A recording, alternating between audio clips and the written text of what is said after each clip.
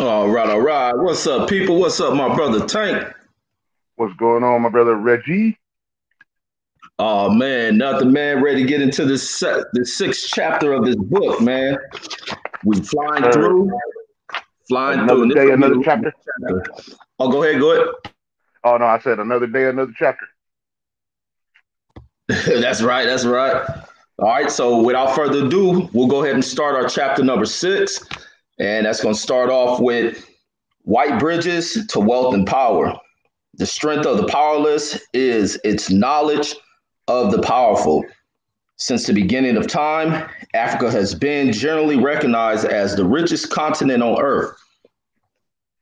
It was blessed with both God and nature with the with a richness of soil, natural resources, and human spirit.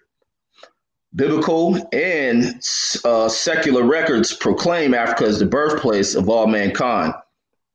As, as admonished, mankind was fruitful and multiplied, leaving Af- Africa with additional historical and cultural richness.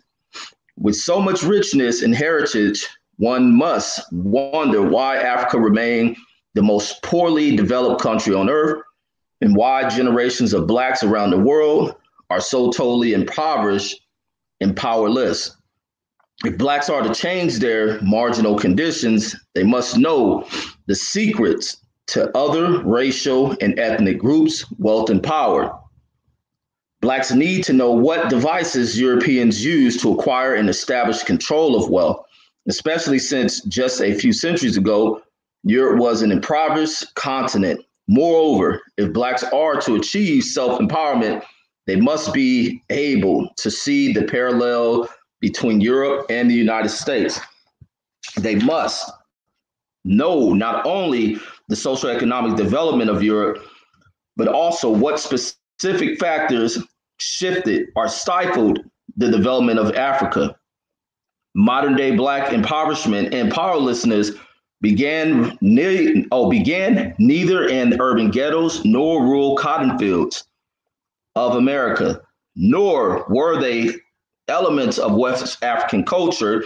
These racial conditions began in the interior of West Africa and can be directly linked to the geopolitical practice of European whites and Arabs centuries ago. Historical records clearly evidence that European wealth was extracted from Africa and the Americas using Black labor as a primary instrument.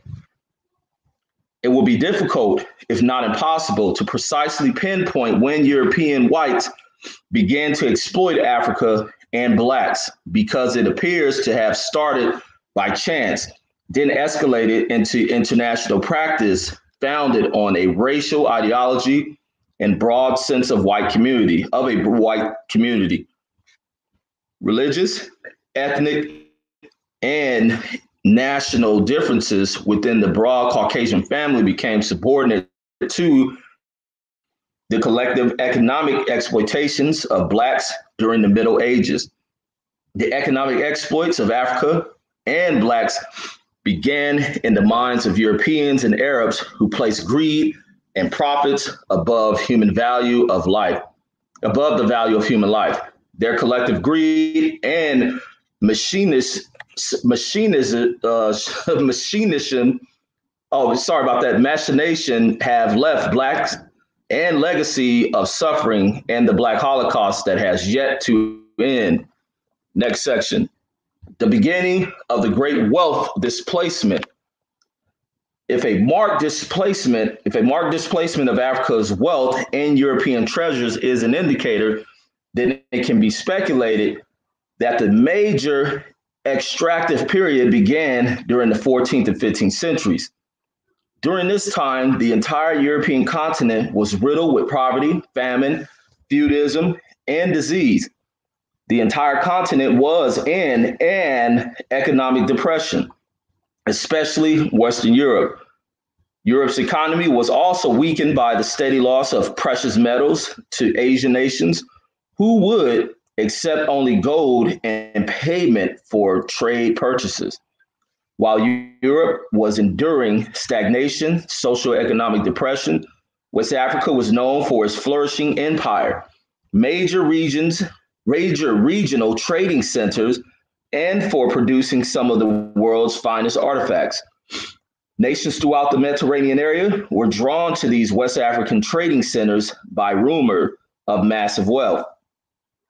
Three large empires, Ghana, Mali, and Songhai, Songhai drew Europeans, Moors, and Arab traders into West Africa's great trading cities, such as Gao and Timbuktu. Arab and Moorish traders routinely sought West Africa cash crops and natural resources, especially gold, silver, ivory, and salt. Arab traders' interest in West Africa was more than routine trade. Their aggressiveness reflected the interest in controlling and profiting from wealth of West Africa. Though they controlled most African seaports, especially along the length of the Red Sea, Arabs felt threatened by inland Black unity and empire building. The Arabs sought greater access to African wealth through intermarriage, uh, concubinage, trade, and religious. Uh, what is that? Pro, uh, what? Woo, proselytes T, uh, I'm jacking that all up. Missions of advocating one religious brotherhood. The Arab fab, the Arabs fabricated a trading language, uh, Swahili, a uh, a facilitate trade to facilitate trade. Sorry about that. To facilitate trade. Often they exerted religious pressures and continually foster holy wars that weaken the great West African empires. Arabs labeled Africans pagans, then pressured them to disavow their own West African culture and practice of ancestor worship and to accept instead Arabic culture based on Islamic religion. This cultural and religious conversion undermined Black uh, African heritage and broad sense of Black community.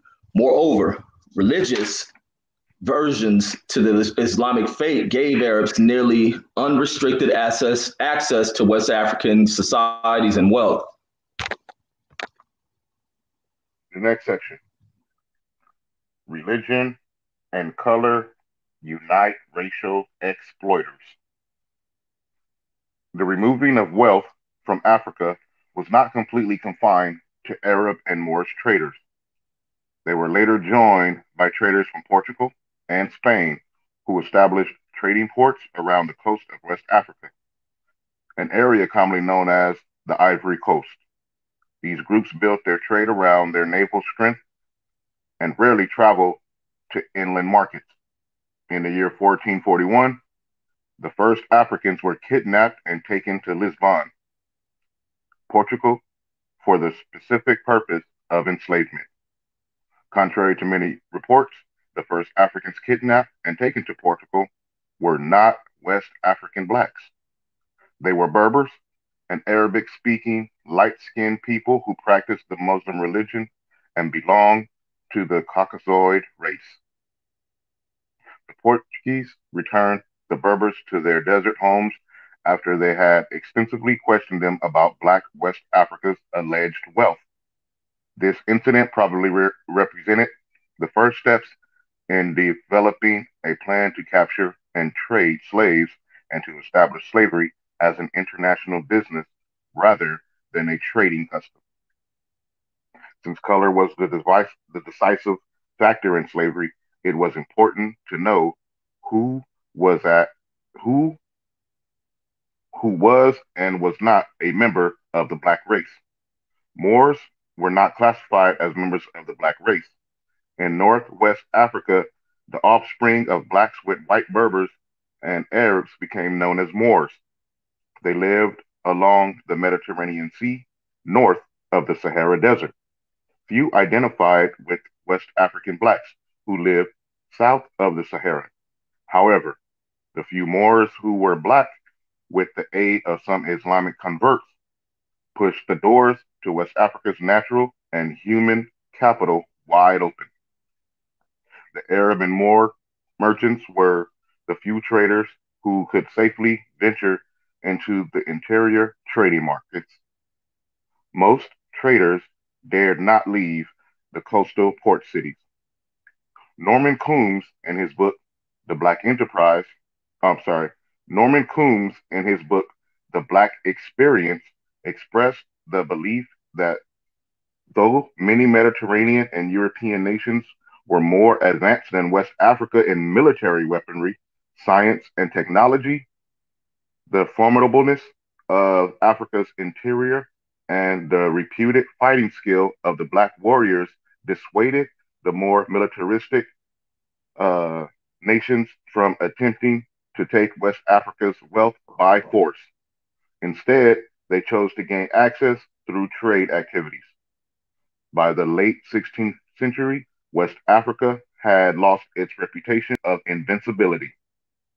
Her great empires had been weakened by divisive internal forces, which diminished the sense of West African nationhood and togetherness and left its natural and human capital resources unprotected. Tragically, West African leaders failed to take protective measures to guard their natural and human resources from the wealth seeking self interest of foreign traders. Man, I wish you would have read this part of the chapter uh, yesterday when we had that conversation with old dude. uh, next section. Um, hold on, real quick. Uh, next section. Black on Black enslavement. Black West African sense of community was narrowly and, and divisively based on tribal origins rather than on the com- commonality of Black skin color and collective racial destiny. Tribal and extended family com- commitments rarely extended beyond the village compound. West African societies that practiced tribalism had a narrow group identity, much, much racial detachment, and intergroup animosities. The practice of black on black enslavement made them vulnerable to united ethnocentric groups who were seeking wealth and power at any cost. Weakened from within, West Africa had little basis for developing a broad community cable, capable of uniting against a common enemy. This tribalism provided the wedge that Arab traders eventually used to divide and conquer nearly every tribe in West and Central Africa. African tribal chiefs ignored the greediness of foreign traders who sought increased access to African wealth. Divided and preoccupied with old tribal differences, many West African societies saw little wrong in enslaving and selling blacks from other tribes into slavery. Having escaped Portuguese slavery, based upon their lighter skin color, the Berbers joined the Arabs and became the first modern people to create a continuing commercial demand for a large number of black slaves. Historian, uh, historian David Brion Davis indicated in his book, Slavery and Human Progress, that Arabs enslaved and exploited in the Middle East at least 1 million black slaves every 100 years from 800 AD to modern times. This practice continues at unknown levels today. The rationale for black on black enslavement. West African tribal chiefs had long history of exchanging slaves with Arab traders. Eventually, they expanded the practice to European traders. An important trading customs of the tribal chiefs was to insist that all foreign traders purchase some of the uh, chief's personal slaves in order to deter- to order to demonstrate an act of God, faith, and, and bargaining. Other historians, such as Norman Coombs, August Meier, and Elliott Rudwick, uh, posted that tribal chiefs could have included this slave purchasing ritual in their trading practice for the purpose of impressing Arab and Moor traders with their toughness as well as their absolute control over their subjects and resources. And this, and this, in fact, if this is in fact was their motive, then they succeeded. The Arab and European traders began became convinced that if tribal chiefs could procure slaves, the trade would be profitable, and they had no reason to expect reprisal from any black nation. A massive slave trading operation developed, and according to an article in the Washington Post, the Arabs were engaged in slave trading of blacks in 1993. Let me get up this one post here. All right. The equal, the doctrine of unequal exchange. While Africa human capital was being displaced through slavery, so too were its natural and mineral wealth. Arab, Moor, Spain, uh, Spanish, and Portuguese merchants traded low value fabric, uh, fabricated items such as pig iron, brass rings, religious artifacts, household gadgets, and used firearms for, Af- for Africa's highly valued commodity, such as gold, silver, quality leather, long cotton, art objects, black slaves, and ivory. Europeans manufactured items were primarily for decorative purposes or tribal warfare. African commodities, on the other hand, were internationally used to undergrid to undergrid major economies and currencies. This imbalance, described by Thomas Sowell, a black economist, as the doctrine of unequal exchange, allowed natural mineral re, uh, mineral wealth to be transferred from Africa in a steady flow. Massive displacement of Africa's human capital and natural resources weakened West Africa's social and economic institutions.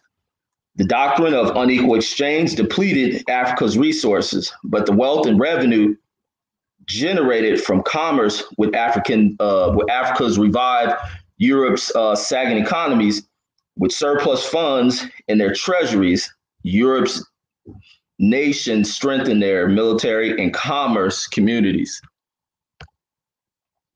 By the 17th century, Europe's nations had formed a competitive sense of social togetherness within Europe's within European family.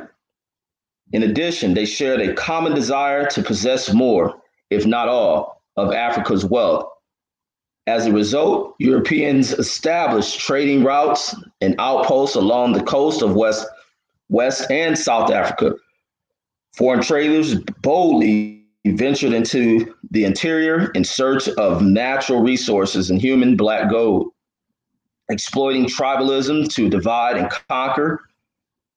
Traders supplied the chiefs with weaponry and other compensation for killing and enslaving other Africans. The traders succeeded in gaining control of much of the African continent. The Self destructive attitudes of the tribal chiefs has yet to be fully explained or understood. But historian Norman Coombs offered one explanation as to why the chiefs so willingly traded their valuable resources to European and Arab traders. According to Coombs, African tribal chiefs willingly participated in such questionable trade practices because West African economies were subsistence based and therefore people were satisfied with the status quo and saw no accumulative wealth and power.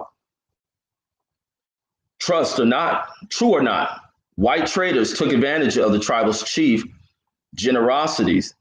This self destructive tribalism, self enslavement, and lack of concern for wealth were interpreted by Europeans as a sign of inferiority. They believed these uncivilized, childlike heathens neither appreciated nor deserved their God given wealth. Consequently, whites rationalized that it was their moral duty to take and utilize Africa's wealth and put blacks in productive work as slaves. By the latter part of the 15th century, West Africa's great trading markets had been closed down by Arab invaders and its great university centers were under the control of Arab scholars. The interference of Arabs and Europeans into government, educational, and religious affairs of West Africa caused the economic conditions of Africa and Europe to reverse. Africa grew poor while Europe grew richer and more powerful.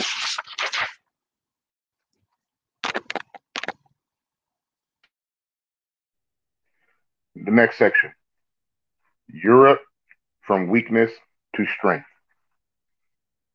It was no mere coincidence that in the latter part of the 15th century, Europe began recovering from centuries of poverty while Africa was increasingly exploited of its uh, mineral wealth and human capital. As millions of Africans were being kidnapped and sold into slavery around the world, slavery became a simple mechanism by which the wealth of Africa and blacks could be transferred to Europe. Displacement of African wealth was so massive during the 1500s and 1600s that socio-economic and political upheavals result, uh, resulted. Northwestern European nations won the competition against Southern European nations to determine which would become the major slave trading region. Southern European banks were the first to feel the effects of the influx of new European wealth. Banking and commerce activity in Western Europe caused a lending and investing revolution that resulted in the relocation of the international banking center from the Mediterranean area to Western Europe.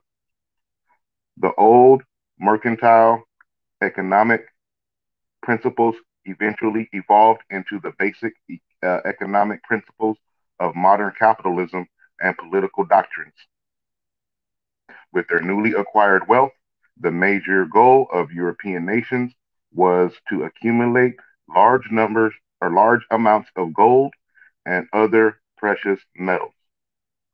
Most European nations needed to replenish their depleted gold reserves.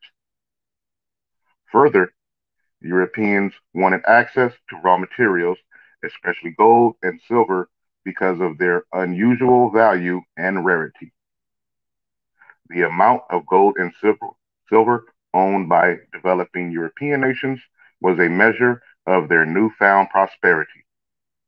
The new mercantile merchants fostered and promoted a new capitalistic principle in order for one person to gain wealth, another must lose wealth. Slavery represented a viable means by which one might be enriched at the expense of others. Western Europeans entered slave trading in the 16th century and applied the new capitalistic principles to old trading practices. Achieving maximum return on investments became the rule. Under Roman laws, slaves had certain rights. But under English laws, slaves were treated as property with no rights. Black slaves were reduced to a level of chattel, equal to property or any other tool. To achieve maximum return on their investments, black slaves were to be worked to death during their prime years in order to recapture the investment as early as possible, because old black slaves had no value. In the year 1664, an English Puritan reportedly called slave trading the worst kind of thievery in the world.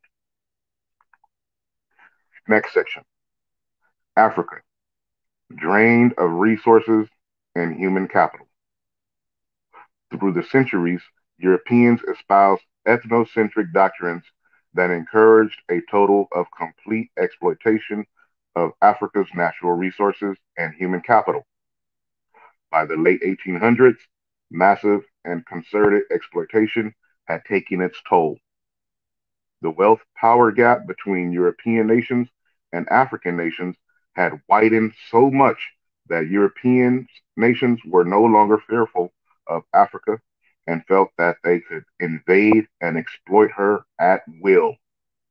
In the year 1885, European nations met at a conference in Berlin and without notifying any African nations, drew lines on a map to divide the African continent amongst themselves. Shortly thereafter, European nations established colonies throughout Africa.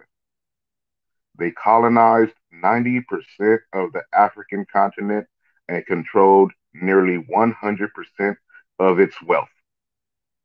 Only Liberia, an American colony, and Ethiopia were uncolonized at that time.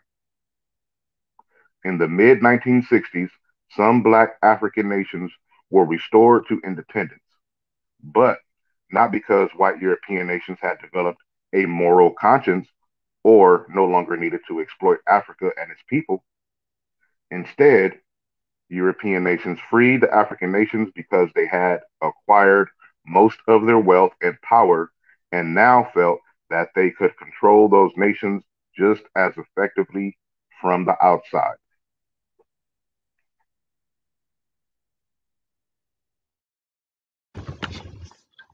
Columbus searches for gold, finds slaves.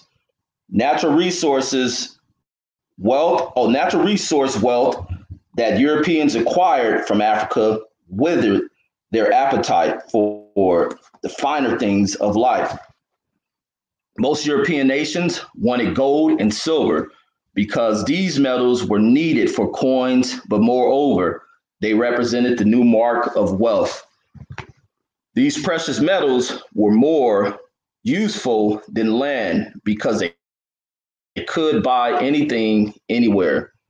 Thoughts of gold, jewels, and spices from foreign lands stimulated investment and trade as merchants and gentry classes pressed their governments to secure new markets. Competing monarchies in Spain, France, Portugal, and England were willing to gamble lives and newfound wealth on finding more precious metals and spices in the world. Adventurers such as Christopher Columbus accepted the challenge from his financial backers and made several fortunes hunting trips to the New World. On his second trip, Columbus promised the Spanish crown that in return for financial help, he would bring them as much gold as they needed, as and as many slaves as they asked. 17 ships and 100 and hundreds of men were provided for a second voyage to the New World. To further encourage his success, the crown promised Columbus 10% of the profit a governorship over any new land and fame.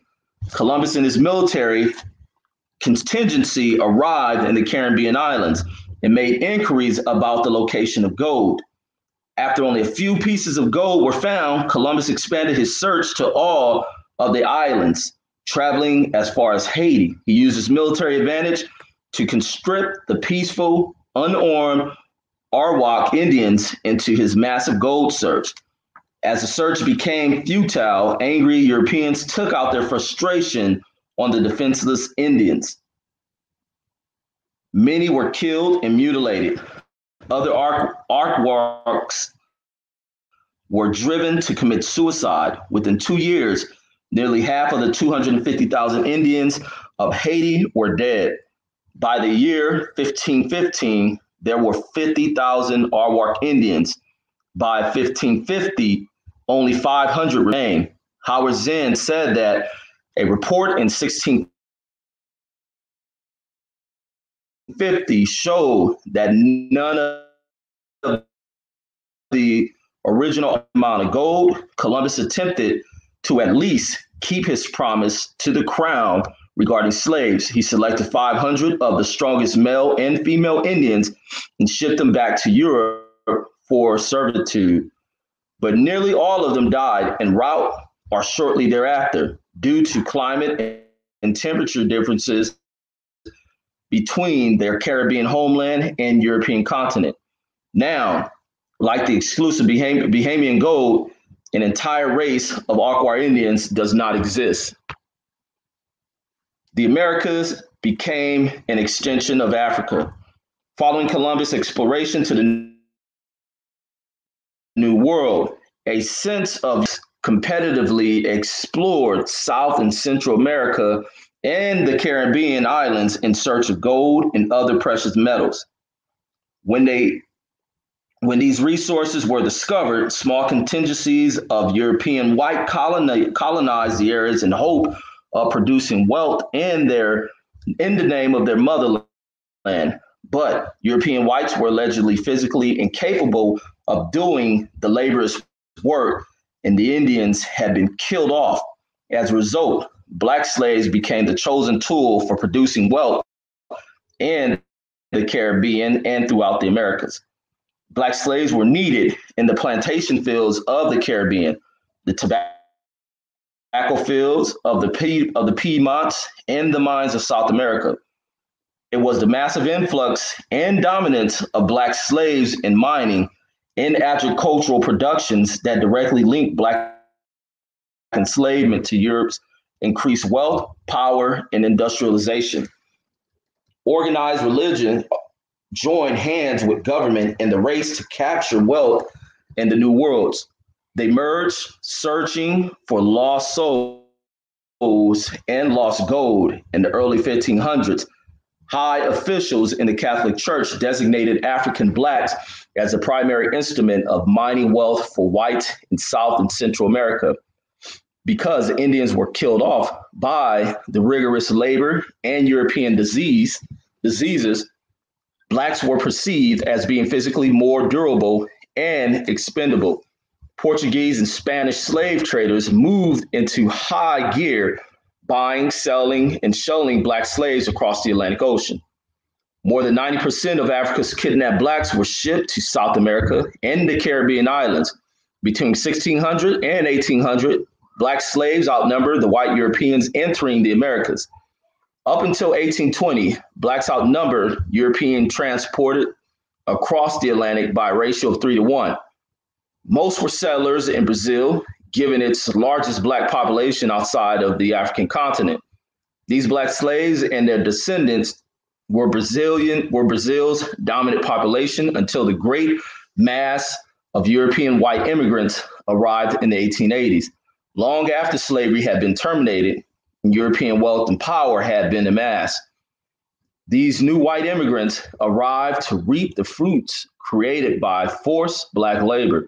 A century later, the descendants of Brazil's black slaves are still excluded from enjoying the fruits and are so impoverished that death squad members, that death squads murders the herd, the hordes of black street children who scavenge for food.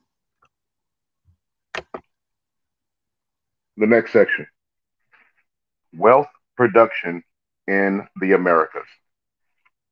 Portuguese and Spanish colonization of the Americas represented the first systematic and concerted practice by European nations to use African blacks as the main instrument for acquiring wealth. From the 1500s to the 1880s, their long distance trade policies and practices were based on profits from Africa and her dark peoples. The high profits caused black enslavement to be known as the quote, golden harvest. The economies of South and Central America and the Caribbean islands were based on products made by Africans. Black labor spawned numerous cottage industries that provided Europe with a constant flow of sugar, tobacco, molasses, vinegar, rum, and precious metals. These products significantly changed Europeans' consumer appetites and demands. Black slaves produced a phenomenal amount of wealth for slave traders, settlers, and European nations. In the South American and West Indian markets, slaves drew an average sale price of $500 in the 17th to 18th centuries. When this figure is multiplied by the 10 to 15 million blacks, slaves that, his, uh, that historian Howard Zinn estimated were transported to the Americas, their revenue from one time only slaves would amount to more than a trillion dollars in today's currency. African slaves were typically sold at least twice before reaching their final destination. As a matter of practice, most of the black slaves brought into the Caribbean markets typically were, quote, seasoned, then resold into slave markets in South, Central, and North America at much higher prices and profits. By the 16th century, European powers sought mineral wealth in Africa and Latin America using what they perceived to be the best possible mining equipment black slave labor. Mines in Peru, Bolivia, and Brazil initially used local Indian labor, but these groups proved to be especially susceptible when confronted by various European diseases, hard work, and rigorous discipline. A royal ordinance in the year 1503 officially sanctioned introducing black slaves into the Spanish colonies to replace the Indians. Between the year 1501 to 1700, nearly 4 million black slaves were exported to Latin America, and the profits of their labor filled various European treasuries. By the year 1660, slaves in Latin American mines had exported 536 million uh, ducats to Spanish treasuries. At today's value, these gold and silver ducats would be worth hundreds of billions of dollars. Near the end of the 17th century, Europe's holdings of gold had increased by 20% and its total stock of silver tripled. France had also amassed an abundance of new precious metals from Brazilian mines. The wealth power produced by black slave trading in the Americas intensified competition between European nations. Spain became one of the world's wealthiest and most powerful nations when it pushed Portugal out of the slave trade and mining in Latin America. Between the year 1550 and, 16, and 1600, the amount of silver shipped into Spanish treasuries quadrupled. Kings Philip III and IV used the revenues to military pr- protect and acquire more slaves. Much of, much of Spain's new wealth was passed on to neighboring nations in order to repay Italian and German merchants who had financed many of Spain's trade wars in the Americas. Although Spanish, Portuguese, and other European nations disagreed over who should possess wealth produced by slaves in the Americas, there was little, if any, disagreement over which racial group would be the labor force used to produce the wealth. The next section. Europe developed a broad sense of community. England established North America as a colony populated by white skinned people, preferably of English ethnicity. The English, proud and a puffy people, enjoyed boasting of their heritage and bloodlines. King James, the ruling monarch, had offered to share the wealth of the new colonies with all who sought to settle and be loyal to the English crown. But the New World wealth was to be kept within the English ethnic family first and the broader European family second. A doctrine of racial and ethnic exclusivity simplified the process of establishing a broad sense of community in the strange new world. As the sense of community took root, a foundation was laid for European whites to survive and prosper through expropri- uh, expropri- expropriated Indian land and black labor. European whites' fear of the larger number of black slaves intensified their desire to maintain a broad sense of a white community. But in their efforts to maintain a white numerical dominance, they abandoned being an English only country and recruited other white European eth- ethnics. The inclusion of other ethnics did not conflict with the original doctrine of exclusivity. Rather than a nation of Englishmen only, America's mandate was broadened to a nation for quote unquote whites only. The three primary sources of white wealth were inherited wealth, land ownership, and expropriated black labor. The first major bequest of white wealth was passed across the Atlantic Ocean from Europe to the white settlers during the colonial period. This wealth from the English crown promoted colonial settlements. British royalty made direct awards of large land grants to royal favorites, territorial governors, and land companies. Royal land grants often encompassed millions of acres.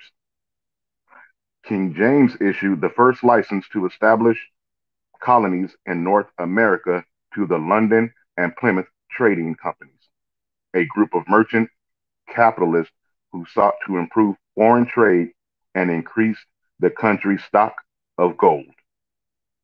These charter companies organized immigrant groups who were interested in seeking wealth in America. They financially sponsored the first white settlers who could not otherwise afford to come to America and were typically impoverished vagrants, criminals, and adventurers. English immigrants were generally directed by government licensed trade companies to, quote, search for all manner of mines of gold, silver, and copper, end quote, in America. The London Company established its first colony of white settlers in Jamestown, Virginia in the year 1607. And contrary to popular myth, few early European settlers immigrated to America for the primary purpose of seeking religious or political freedoms.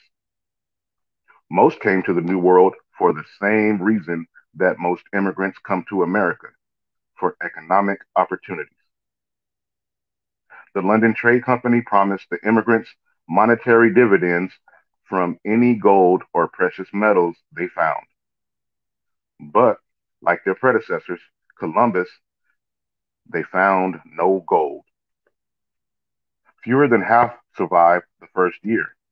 Of 6,000 new settlers who arrived between the year 1620 and the year 1622, two thirds were dead before the year 1625. Friendly Indians rescued the remainder and taught them how to survive in the harsh wilderness. European settlers repaid the Indians' kindness by establishing trade relations based on the doctrine of unequal exchange. As discussed earlier, this exploitive, exploitative trading practice had been successfully used by European traders on tribal chiefs in West Africa. And like Africans, the Indians traded valuable items such as furs, gold, land, tobacco, and food for less valuable items such as Bibles, blankets, trinkets, and rum. The Indians' usefulness to the settlers was short lived. The settlers were good students and quickly learned how to survive in the wilderness. As the Indians became less valuable than their land and natural resources, the whites killed, enslaved, or drove them from their homelands. White power struggle fomented nationalism. England's new wealth and power gave rise to a sense of ethnic identity and nationalism amongst the settlers. This nationalism evolved from a real or imagined new cultural unity, a strong sense of we against them. The thems were other nations that England sought to subjugate, namely Indians and Africans. The the West were oh sorry about that. The we's were fellow Englishmen who colonized the thems across the globe. To protect the we's, England strengthened the maritime control over long distance Atlantic trading routes. It enacted the Navigation Act of 1651, which in effect declared a form of economic warfare on other European nations by requiring that goods imported from any European nation or any English colony be shipped only on British vessels. The act also prohibited the colonies from either developing manufacturing industries or processing uh, or from or purchasing processed goods from any nation other than those under the control of the British Crown. In addition, the Navigation Act gave England the power to establish and a monopoly in both the slave trade and marketing of slave produced products with the colonies. The English government's control of colonial trade virtually guaranteed English industries a monopoly over raw material and cash crops. This rendered the American settlers entirely dependent upon England to provide them with raw materials, consumer products, slaves, and military protection.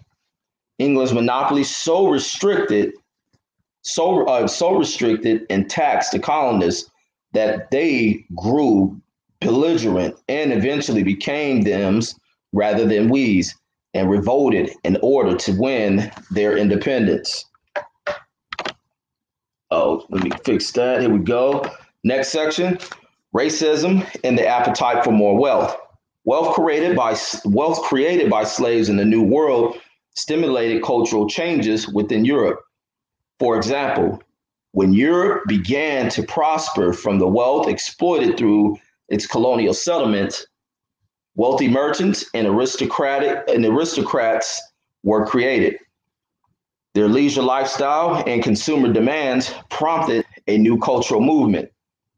The aristo, arist, arist, aristocracy, uh, dang, I'm jacking that up aristocracy, aristocracy and the middle class discuss new philosophies of religion, science, politics, and business. The neo-cultural values justify imperialism, capitalism, and racism. Europeans espouse the beliefs that they were a superior race that had mission to civilize so-called inferior races. This ethnocentric views was sustained by a broad sense of unity and community founded upon skin color, Judeo-Christian religions, and espoused work ethic and a belief in the organized exercise of authority. European uh, Europeans theft of other people's lands was justified by their Christian piety. They believed that God had given land to all mankind to be cultivated. So their belief in their own racial superiority supplied the foundation and justification for their seeking to colonize and exploit the world. Throughout the 1700s, European nations competed for control of territory and resources in the New World and exercised varying degree degrees of harshness towards local inhabitants. As European settlers established colonial government to supervise the displacement of wealth from the oppressed countries to the motherland countries of in Europe. The welfare of the, the exploited was of secondary importance. The calculating cruelty of colonialization in Sir William Blackstone's statements that the king can do no wrong was a necessary and fundamental practice of the English Constitution. This political phrase clearly indicated the way Europeans felt about their role in exploiting slaves and Indians in new lands. The English also stressed their religious justification for colonization with a legal system based on the concept of individual and private property rights in response to criticism of English colonization, an unknown Englishman wrote in 1622 that it is lawful to take a land from which none youth use it and make it use and make use of it. The Englishman undoubtedly was referring to an Old English legal concept, the right of discovery, which was in part based upon European legal doctrine, racial arrogance, and military superiority. It gave white European colonists the right to practice finders keepers with any land or resources that they discovered. With the cultural and legal backing of the right of discovery, European whites believed that they had a license to steal. In his book, A People's History of the United States, Howard Zinn expanded on the way white settlers felt about their claims to the right of discovery. Zinn wrote, man, these motherfuckers crazy. so Zinn wrote, quote, the governor of Massachusetts Bay Colony, John Winthrop, created the excuse to take Indian land by declaring the area legally a vacuum. The, the Indians had not subdued the land and therefore had only a natural right to it, but not a civil right. A natural right did not have legal standing. End of the quote. Native American culture had not generally prepared Indians to protect themselves from a land expropriating practice of the white settlers white society, legal concepts of private ownership and of property and resources was an unfamiliar concept to Indians who, like African blacks, were communal. Shared rights and responsibility for the land and its resources was the basis of their culture and survival. Conflict between Europeans and Indian culture were resolved at the expense of scores of Indians when the first white settlers arrived in the 1500s, about 2 million Indians possessed about 2 billion acres that is now the continental United States. Today, about 800,000 Indians reside on some 200 reservations, a landmass of about 2% of the original amount of land they possessed when the pilgrims arrived in 1607. Moreover, the land that were set aside as reservations for American Indians were some of the worst some of the worst lands in the nation for sustaining agricultural products, livestock, and human life. Due to white society's oversight and later discoveries of precious metals and resources, these reservations occasionally did produce wealth. Next section stolen land, the second greatest wealth producer. Land ownership was second only to land uh, to only to slave labor as a source of white wealth and power in America. Without the approval of Indians, the London Company, an officially chartered immigration agency, sought to lure immigrants to America by sub- substituting land grants of 100 acres to each colonial settler in lieu of the potential gold dividend. Other English chartering companies and colonial assemblies followed suit by offering land grants to newly arriving immigrants. The practice of awarding land to the head of each established household was effectively used to entice European immigrants to America. Sounds like that homestead crap. Yep. Says these lands awards represented windfall wealth that ensure economic opportunity and provided them with the basic tools for earning a living. It also generated a sense of togetherness among European immigrants in a new land. The typical colonial family only needed two acres of land per capita to produce sufficient food to survive, says Stanley Lebergott in his book, The Americans An Economic Record. Lebergott further stated that the greed of the European immigrant changed the use of Indian land from limited substance to widespread cash crop farming, from religious inspiration to land speculations for capital gains. The land grants to assist colonial settlers served as one of the earliest forms of affirmative action in America. The grants gave immigrants a basic level of wealth, which they could leverage to purchase additional acreage, acreage, household, farming equipment, or bring black labor onto the land. This white, this whites only affirmative action program allowed three fourths of America's colonial families to own their own farms. Land grants alone were not the only government backed benefit given to white settlers. After all, a new nation of aristocrats and privileged class could not be built simply on the basis of land without an available pool of labor. L- land had little value. It had to be cleared and brought to production. To achieve a maximum return from the land, the white settlers needed two things cash crops and goods for European and local markets, as well as a well disciplined, available, non compensated, and permanent labor supply. The free white labor force would not satisfy these criteria because it was scarce and expensive. Few European immigrants were willing to till soil for another when free or cheap labor was available to any white who wanted to homestead. If European serfdom had taught the pilgrims anything, it had taught them that it was essential to own one's own land and strictly avoid being bound to another's land. Shortly before the Revolutionary War, wealth had accumulated in the in the colonies and were and the settlers were some of the richest people in the world. Less than 2% of the American immigrant population had zero or negative net worth.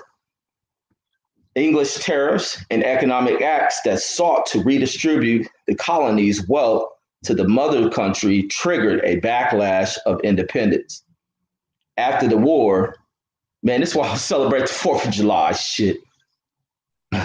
exactly. right on. After the war, the new congressional government established its own devices for transferring wealth to preferential groups. Westward, a westward expansion added new wealth building opportunities through land and slave ownership. The Northwest Ordinance in 1787 opened the new territory for homesteading. The government sold the land at public auctions for $1 per acre. To ensure that the land would not end up in the wrong hands, Congress in 1790 passed the first national nationalism law, which specified that America would open its doors to white immigrants only. Local governments enacted anti mobility and anti contracting laws that forbade Blacks to either own or even step foot onto land in the new territory.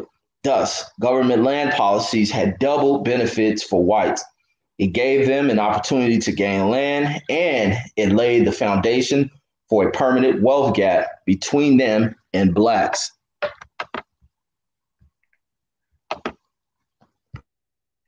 The next section Slaves forced France to sell Louisiana Territory. In 1802, just as America was on the verge of being squeezed out of the international cotton market, black slave insurrections in the Caribbean islands gave America a land windfall. Slaves successfully revolted against their French oppressors. A self taught Haitian slave named Toussaint Louverture led a slave revolt that, with the help of yellow fever, defeated a 20,000 strong French army. Without a doubt, the Haitian Revolution, uh, the Haitian Revolt, took advantage of the only time during the colonization of the New World that white slaveholders dropped their guard enough to allow slaves to break free and take control. Uh, and after, on that note, um, the anniversary of that was January 1st, that just passed. So that's why usually you guys see me every January 1st. I pay respects to uh, the Haitian uh, Independence Day, which is uh, January 1st, 1804. So instead of celebrating New Year's, I celebrate the uh, independence of Haiti every January 1st. All right, let me continue. Napoleon sent a French military expeditionary force to recapture Haiti by the French troops were beaten, thereby forcing France to sign a peace treaty granting the slaves their freedom and Haiti its independence. The broader international white community operated from a policy that a quote threat to black slavery anywhere is a threat to black slavery everywhere end quote. But neither the United States nor any other country bothered to assist France. France's defeat at the hands of the slave army destroyed Napoleon's dream of building a French settlement at the mouth of the Mississippi River at the current site of the city of New Orleans and set the stage for the United States to purchase the Louisiana Territory for a mere $15 million less than 5 cents per acre. The purchase of the Louisiana Territory, which extended from Mississippi River to the Pacific Ocean, doubled the size of the United States. Ironically, the Haitian Revolt provided additional land for raising cotton, which justified the expansion of black slavery. Shortly thereafter, old planters and new immigrants joined the land rush to acquire huge tracts of the new free land. They echoed the national slogan for pursuing wealth quote, open more land and buy more Negroes, end quote. European whites were given ownership to the land, and black slaves were given the obligation of picking the cotton for the next 150 years. Next section. Spain follows France's lead and sells Florida. During the 1800s, Florida was the only part of the southern North America that did not belong to the United States. So the United States government had made numerous offers, Spain refused to sell Florida as Spanish territory and not a part of the United States. Florida was a natural attraction for displaced Indians, and runaway slaves. Escaped slaves took refuge in Florida and established geopolitical relations with the Indians. Slaves and their mulatto offspring were often given huge village positions as chiefs, interpreters, military advisors, and scouts, all of which aroused Southern white slaveholders who saw this as a lure to slaves seeking freedom. White planters and slaveholders encouraged General Andrew Jackson, who was noted for grabbing Indian land for his friends and personal ownership, to use his military forces to remove from Florida the Indians and escaped slaves. General Jackson complied publicly, arguing that Florida was a sanctuary for escaped slaves and marauding Indians who presented a menace to white society. Florida, according to Jackson, was essential to the defense of the United States. In the year 1814, having established his public premise for taking military troops into the Spanish territory, Jackson intentionally triggered the first of the three Seminole Wars. Jackson also burned Indian villages, seized Spanish forts, and blew up Fort Negro on the Chattahoochee, River in North Florida, killing more than 200 women and children. His military incursions into Florida created a political problem for Spain, which in the year 1819 agreed to Florida to give Florida to the United States in the year 1821. In appreciation, a grateful United States government appointed Andrew Jackson, Florida's first governor. Jackson assumed the governorship, then reverted back to his earlier practice of making money for himself and his friends by expropriating Indian land and black labor. He advised his friends to purchase Florida land and black slaves before the price rose. An Indian treaty was signed in the year 1819, and most of the Indians and free blacks were forced out of Florida. Jackson kept his promise to make free or cheap land available in Florida for cotton and sugar production. But some defiant Indians and black slaves dismissed the treaty and continued to fight for their land ownership rights for another 20 years. The Third Seminole War ended in the in the 1840s when uh, Oak-Selah, the Seminole chief, died in captivity, and John Horse, the highest ranking black Indian leader, after nearly 50 years of battles, ceased fighting without even having been defeated or captured.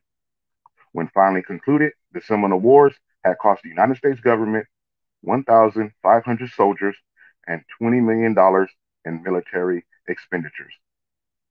In the year 1970, the United States Indian Claims Commission awarded more than 12 million in land reparations to the remainder of the Florida Seminole tribe. The government also offered an apology. Notably, however, the contributions made by Black Floridian ancestors were left out of the history books, and their offspring were left out of the apology as well as the reparations. Blacks have yet to receive any monetary reparations or historical recognition for their role in bringing Florida into the Union. Blacks, cotton, and annexation of the Southwest. The United States went to war with Mexico in 1846, largely to satisfy slaveholders' interest in acquiring the fertile Texas plains for rising cotton. Mexican authorities are to groups of white land squatters, but were not willing to sell land to cotton planters. By 18 by the 1830s, more than 20,000 whites had moved into the Texas territory territory with more than 2,000 black slaves. Mexican authorities outlawed slavery, but white slaveholders evaded the law, or so evaded the law by freeing their slaves, then forcing them to sign lifetime contracts as indentured servants. The Mexican government responded by seeking to block any further white immigration into the territories. The 20,000 whites already in the territory responded by declaring squatters' rights on Mexican land, then publicly declaring such land to be free and independent from Mexico. Sounds like the Israelis and shit. Let me go to the next clip here.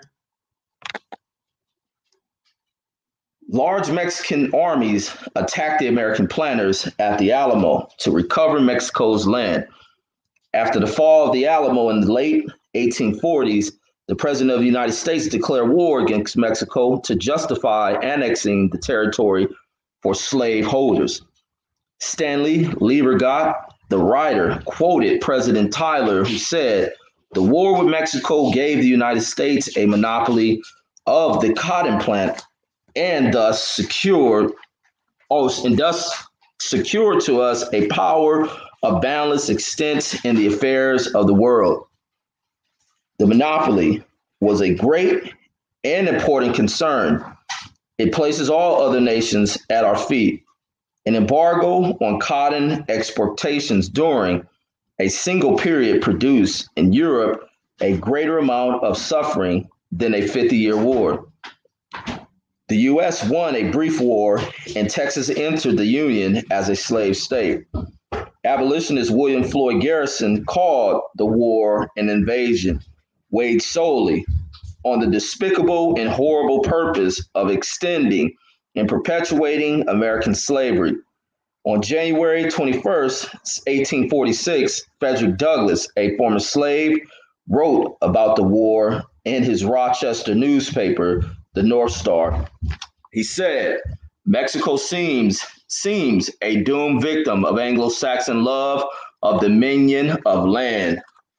And in our next section, the 19, 1862 Homestead Act. The Homestead Act of 1862 represented America's last great land policy. It was enacted on the eve of the Civil War and provided that anyone living on land for five years while making some improvements could acquire a free title to 160 acres. This act remained in effect until 1900 and provided 400,000 to 600 families with homes and farms. Of all the public land that this act, uh, act passed into private hands, not more than 11 to 17 percent was settled by homesteaders. By 1900, most of the land had gone to, spec, uh, to uh, speculators who thus acquired the claim to rich Western land and timber material rights without having to bid or compete for the wealth. Blacks were unable to acquire any of this first time giveaway of land wealth. Many were, oh, many were interested, but but oh shit, I'm checking out. Many were interested, but had their lives threatened by whites and decided not to pursue the free land. Damn. The acquisition policy of the Homestead Act was that anyone who tended to land should not have to pay for it. But again, hypocrisy reigned. Not one had spent more time tending land than blacks, certainly not European immigrants. Yet, even free blacks were not allowed to participate in this famous land rush in the West. Both free and enslaved blacks were forced to delay their land ownership dreams and await the freedom that the Civil War would bring. Blacks were legally freed by the Emancipation Proclamation, but the end of their servitude did not result in receiving the compensation, compensation that was given to white independent indentured servants. At the end of their servitude, white indentured service servants typically received a small parcel of land as well as a suit of clothing. Farming tools, crop seeds, livestock, and some money and some sometimes guns. These were the minimal tools needed to earn a living and protect one's family. Emancipation set blacks free as ignorant, penniless, defenseless, landless, powerless, and non competitive human beings. Literally 5 million blacks were made wards of the public, dependent on doubts, welfare, or whatever they could steal in order to survive. No attempts were made to correct these centuries of social engineering to which black slaves had exploited. They had no homes or free and or friends in either the North or the South. When they asked for a little help or a hand up, President Andrew Johnson in, six, in 1866, with Southern slaves' encouragement, slapped them in their Siouxland black faces by vetoing a congressional bill that would have given black slaves a mere 40 acres and a mule as compensation for 250 years of bondage. The next section Southern slaveholders, the leisure class. Until recent times, Southerners sought to build and maintain a non working class of aristocrats that prided itself on a lifestyle of unearned leisure that resulted from Black labor. The Southerners' views of Blacks and work was based on their definition of work and their exploitation of natural resources. Sitting on the verandas or under the old oak trees became a way of life. It was as much a Southern reality as a Southern mystique. The South leisure degenerated into laziness. Blacks were the working class. Whites were the management class that enjoyed seasonal light work. Successful planters bragged about not having to do dirty, hard, quote unquote, nigger work. In accordance with the national anti Black public policy, seen in Chapter 7, Blacks remain the working class while whites took credit for being the management or brains behind Black labor. The next section white indentured, white indentured servants, temporary labor only. The dream of living in a world with unlimited free land and economic opportunities appealed to impoverished whites still living in Europe. Many whites were willing to sell or contract their labor to white landowners for an opportunity to live and work in the New World. For the cost of transportation from Europe, many whites signed indentured servitude contracts. A typical contract lasted for seven years, but actually it rarely lasted beyond the servant's 21st birthday. Unlike slaves, white servants retained some personal rights. For example, the right to sue, testify in court, etc. At the end of their period of servitude, they received a monetary compensation and basic necessities for establishing a homestead and earning a living. Disgruntled indentured servants occasionally renegotiated their contracts in order to receive better provisions, or they simply broke the contracts by fleeing and establishing their own homestead on the frontier land that was available and free to any white person. The instability of the white servant labor force killed the indentured servant system.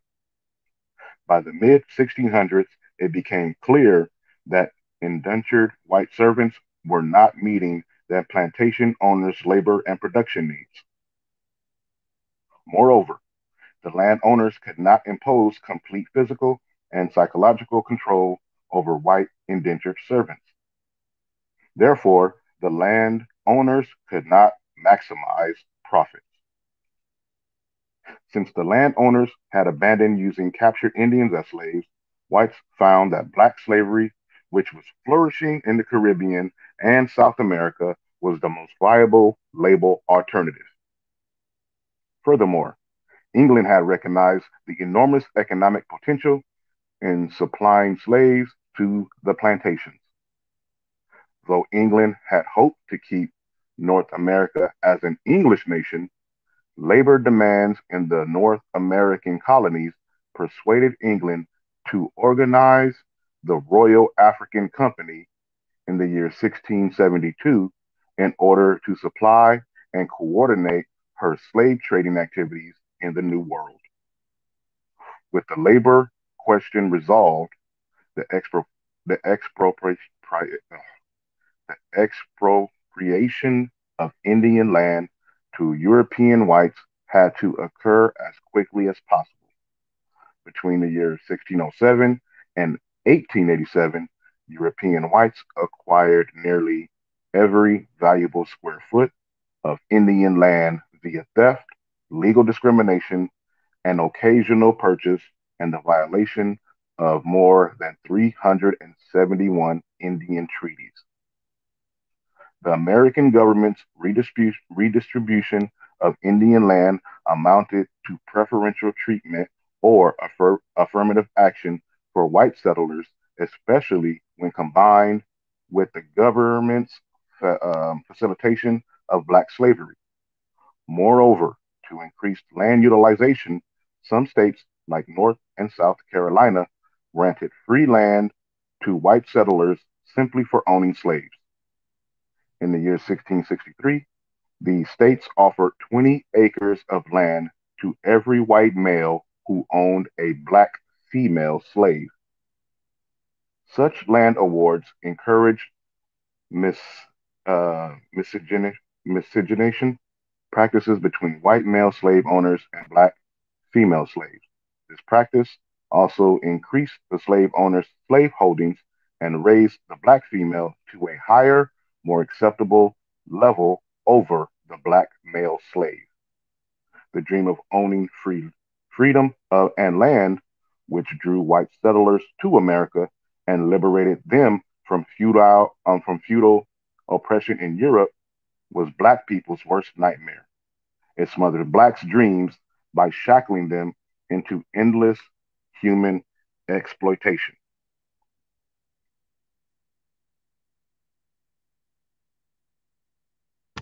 Oh, was you you was taking that part too? Yeah. The next uh, section is black labor, the greatest source of white wealth. Before discussing more recent ways the whites have created bridges to wealth and power, it would be beneficial to take one final look at the economic impact that black slavery had and continues to have on economies in America and worldwide. A close examination of financial data reveals why whites have been so adamant about keeping blacks as a permanent underclass of laborers. The world saw blacks and their labor as sources of wealth, black gold. England was the king of slave trading nations. Not only was it the dominant slave trader, but was also the primary beneficiary of wealth produced by slaves in the Americas and Caribbean islands. As discussed earlier in chapter 4, the English system was the harshest and undoubtedly the most profitable of the six major slave trading nations. For example, by the year 1795, Liverpool, England alone had more than 100 ships carrying slaves. This fleet of ships accounted for 50% of Europe's slave trade. Overall, during the 1700s, slave trading revenues expanded England's foreign trade by more than 700%, and annual slave trade revenues averaged nearly $5 million, which in today's dollars would be nearly $50 billion annually. Slave trading and the related commercial activities were lucrative that these were so lucrative that these activities alone elevated England from a poor nation to the single most powerful nation in the world. That's why the dude yesterday that jumped in was talking about, uh, you know, we used to run the world, and you guys would have been better off if we uh, uh, controlled you guys. Yeah, get out of here. Right. Anyways, continuing on. By the year 1860, annual sales of slave produced cotton generated more than $30 billion for England. Meanwhile, English textiles mills were still annually manufacturing increasing levels of cotton goods for retail slaves, um, retail sales. England's trading relationships with American slave plantations were so profitable that England viewed the prospect of an American Civil War to free black slaves as a significant threat to its national interest. England was well aware that growth in the English economy and the establishment of its industrial infrastructure was founded upon slave produced products. In fact, in the year 1844, England announced in the Report of Foreign Nations that since the year 1808, $4 billion of fixed capital has been invested in preparation for cotton goods that were wholly dependent upon slave labor. End quote. England was not willing to lose that large financial investment or the steady flow of wealth from black labor without a fight. In an effort to maintain the institution of slavery that had benefited the English nation for more than two and a half centuries, England offered to intervene in American domestic affairs in order to prolong slavery. In addition, many within England's private business sector contributed financially to pro slavery organizations in America. Wealth produced in southern states. Contrary to popular myth, prior to the Civil War, the South was not poverty stricken, but held the greatest concentration of per capita wealth in the nation. Each of the nearly 5 million slaves represented not only a labor device for income, but also a commodity, a negotiable instrument. Slaves constituted a medium of monetary exchange that could be bartered or accepted as collateral when currency or other valuables were in short supply. A white person with a slave never, lacked economic opportunity since his human capital could always be transferred into other forms of wealth if necessary. Ironically, before the invention of the cotton gin, slavery was on the decline. The value of, of slaves had dropped an average of 400 to 500 for a prime field slave. At this low market value, some northerner, some northern slaveholders were selling back. Oh, sorry about that. Some northern slaveholders were setting blacks free. In an attempt to cut this, more than 30,000 were freed around 1790.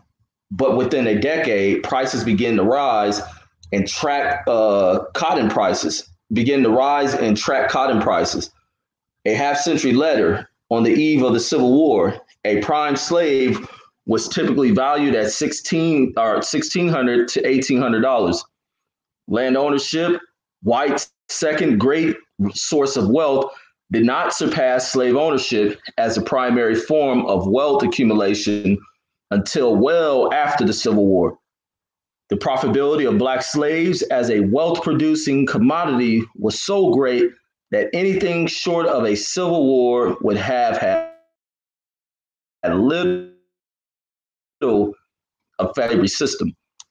The seven billion capital investment in black slavery in 1860, other business investments in the North and the South and the federal uh, budget combined. The value of a black slave had a direct correlation to cotton prices from year to year. As the price of slaves went up or down, so did the price of cotton. Slaves' value dictated the market value of cotton, and cotton set the value of slaves. This direct relationship existed from the latter part of the 17th century to the mid 18th century. Furthermore, the prices and values varied very little from region to region within the country. Slaves were walking credit cards. Any white who owned a slave could always earn money by either selling the slave labor or selling the slave. Both the slave and his labor carry value. Consequently, non slave owners were decidedly poorer than those who owned slaves. And since nearly all black slaves were in the South, the nation's wealth was in the South, according to Robert W. Uh, Fogel in his book, Without Consent of Contract in 1860. Two out of three males with a, with a $100,000 personal net worth live in the South and owned slaves. The relation of typical cotton uh, belt farms was four times greater than that of usual northern farmers and was 91 times greater than that of the typical urban common labor. A comparison of northern and southern farms indicates that wealth was disproportionately skewed to the south. On average, the large southern plantation owner who used his who used slave gang systems had 18 times more wealth than a northern farmer and nearly 400 times more wealth than the average northern urban farmer. Robert W. Fogel claimed that a poor southerner who owned nothing more than two had assets comparable to the average northerner with all of his personal property, livestock, modest savings, and real estate. White wealth created through slavery benefited not only the actual plantation owner, but also numerous businesses in the community. Many uh, Southern entrepreneurs, entrepreneurs acquire wealth by providing support uh, services and goods to slaveholders. Some Southern businesses could survive by providing services and goods ranging from household effects, and farm tools to the leather slave restraints sold exclusively to plantations. This demand was significant enough that nearly 20% of the manufacturing firms that serviced slaves plantations were located in South prior to the Civil War. Farms and small town businesses sustained themselves by buying and selling slaves produced products. Businesses supporting plantations generated massive amounts of capital, which was calculated throughout the communities, which was sorry about that, which was circulated throughout the communities. The multiplying effect helped establish and sustain southern seaport towns like Charleston, Savannah, Norfolk, and Louisiana, New Orleans. After the slaves were emancipated, those who had founded their livelihood in exploiting free black labor feared the potential financial consequences. Farmers, former plantation owners, merchants, bankers, ship, shippers, clerks, and in fact, the entire Southern community had a vested financial interest in maintaining a large and cheap supply of labor. Reconstruction failed to provide the former slaves with any measurable economic start. The denial of 40 acres and a mule ensured that these former slaves would never comprise a part of the American ownership class. Moreover, the larger white communities restricted blacks from producing and marketing products that competed with white businessmen or farmers. Cultural customs and laws forced the newly emancipated blacks to conform to the historical image of blacks and as common laborers. Sorry about that. Although blacks were skilled and well experienced agricultural planters and livestock breeders, they had no farm tools, livestock money, or land upon which to earn a living and the community had no intentions of allowing black labor to escape their control. Most blacks in desperation were compelled by white hostilities to return to the plantation, either at either for pitiful wages or as sharecroppers, where they were soon bound to the master's land almost as firmly as they had been in bondage, said historian Norman Hodges. Next section. The northern states also thrived off black labor. As in the South, the northern also thrived off the labor of black people through profits from businesses connected to slavery industry. As contrary to popular belief, most Northerns were not opposed to black slavery.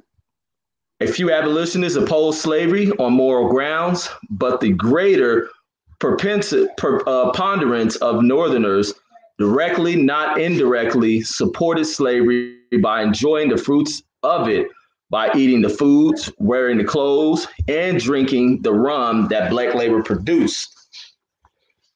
New England, the home of the Quakers and anti slavery forces, had three times as many textile mills as the entire South. These, manuf- these mills manufacturers processed, retailed, and generally thrived off of slavery produced cotton. The first cotton mills in the United States was built at Beverly, Massachusetts around 1808. By 1817, slaves were annually producing more than 126 million pounds of cotton that had a value of approximately 15 million for processing in northern textile mills alone.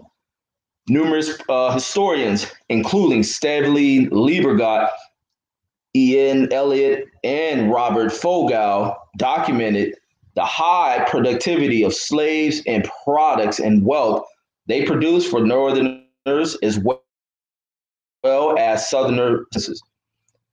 By 1850, more than 1,000 cotton factories operated in the United States. Northern mills processed one quarter of all slave produced cotton. The cotton provided clothes, fabrics, jobs, income, wealth, taxes, and other benefits to populations to the north. So while northern anti-slavery force opposed on one second all right, there we go. I see my stream was uh, breaking up a little bit. So here we go. So it was a, let me catch back up. And the northern textile mills use long, oh, hold on, let me catch back up where I was at as I lost track. All right, the cotton produced clothes, fabrics, income, wealth, taxes, and other benefits to populations throughout the North. So while Northern anti slavery forces opposed slavery on moral grounds, it was apparent from the kinds of businesses that were supporting Northern economies that every Northern uh, Northerner benefit from slavery. Black slaves produced raw products for the markets, and in turn were market, uh, or in turn were a market for the finished products. The textile and leather industries tailored a major portion of the consumer items towards a captured market. The slavery institution, New England textile mills, used long strand cotton to make fine fabrics for whites, while the short strand cotton was used to produce cheapest and coarsest clothes for blacks. The clothes referred to as black cloth or nigger cloth was the lower grade material that the textile industry to produce clothing for 5 million slaves and free blacks. The shoe industry was equally discriminating in its quality. Like the textile industry, the Northeast shoe industry produced two different grades of footwear for the South. It produced fine shoes for the white market, which were carefully crafted, expensive leather boots, the manufacturing outlets also designed cheap, rough footwear, such as sandals and brogans, for black slaves and free blacks with marginal income.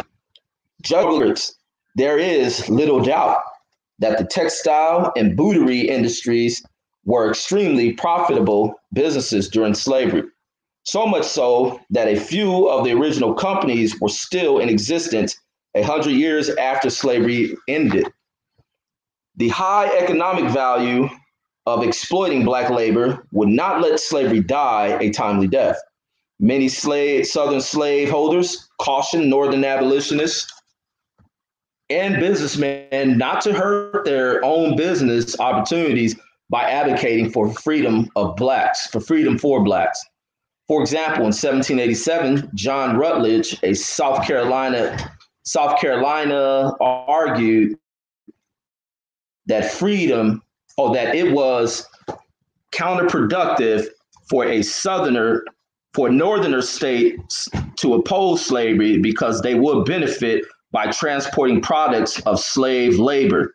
And in subsequent years, as Rutledge predicted, Northern shipbuilders amassed fortunes building commercial vessels that haul slaves and durable goods to the Caribbean islands, Europe, and other ports around the world.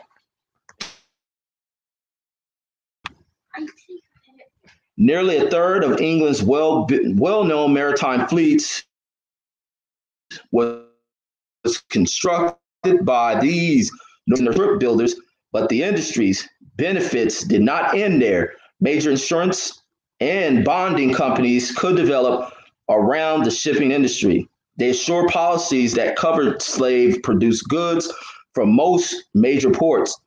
At the behest of industrialists and shipbuilders, northerner states invested in the construction of water canals and railroads to speed slave produced products across the nation.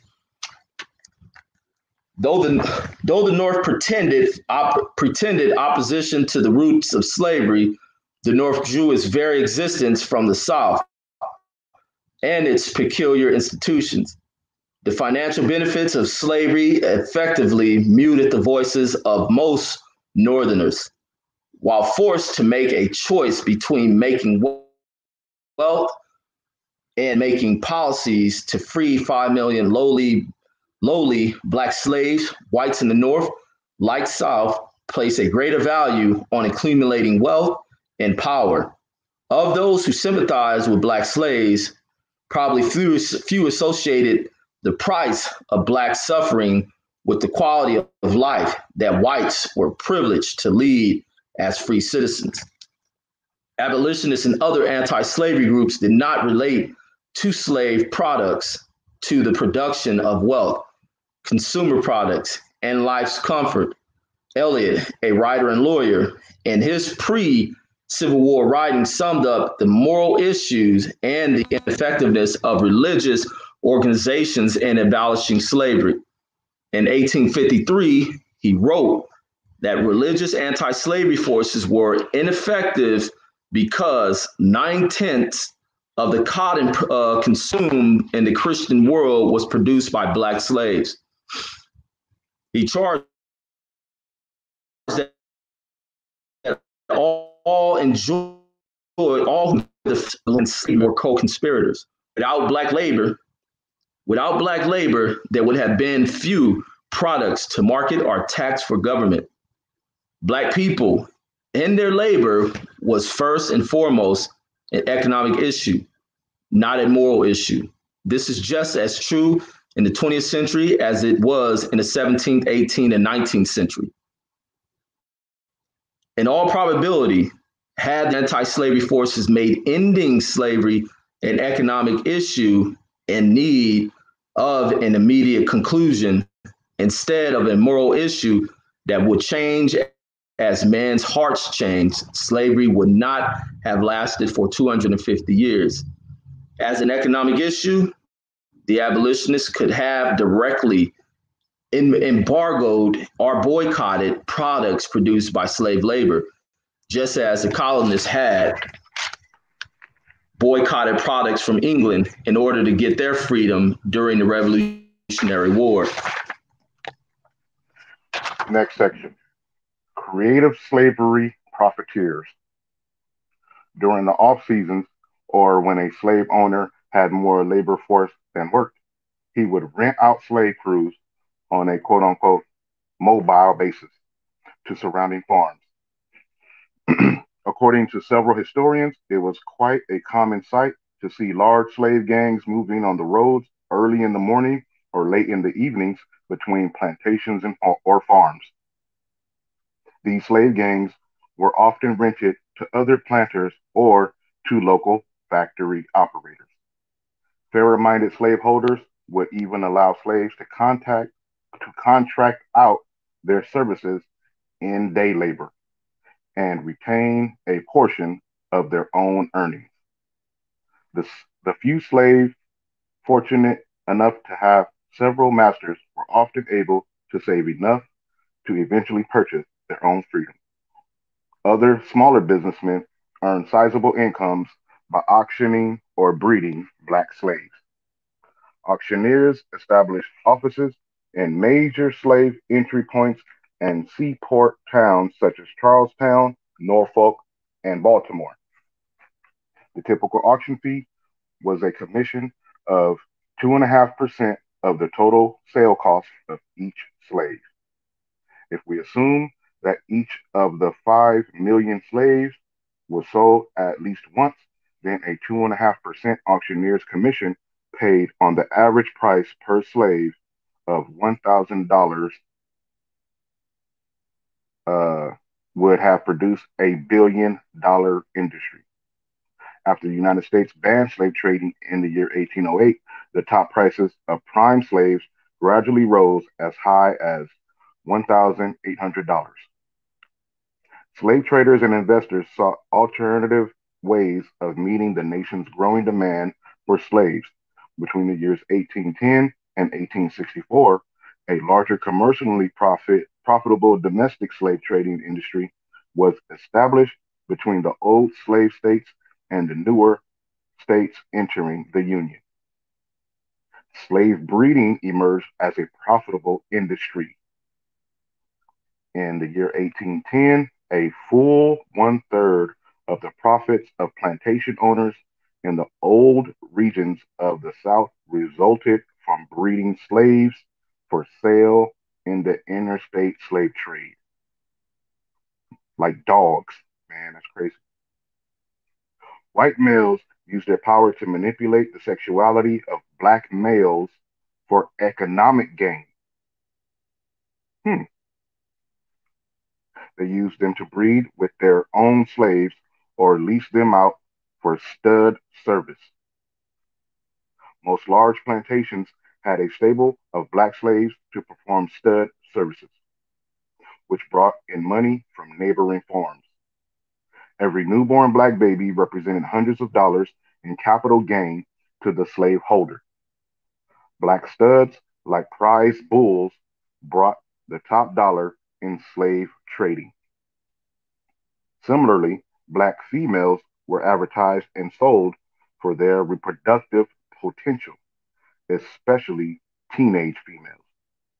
Even older black females had higher value if they had successfully given birth to a child.